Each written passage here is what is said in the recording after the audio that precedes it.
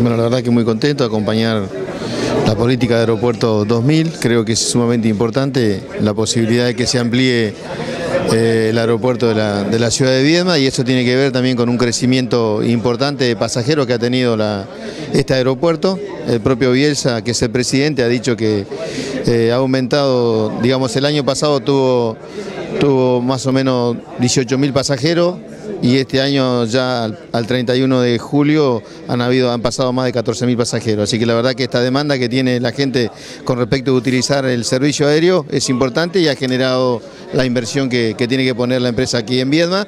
Bueno, eso es muy importante para todos. También es cierto que esto ha sido acompañado por el senador Pichetto y bueno, la verdad que nos pone contentos. Cada vez que hay algo, alguna inversión en cualquier ciudad o pueblo en la provincia de Río Negro que tenga que ver con crecimiento y fundamentalmente con servicio, a uno lo pone muy bien.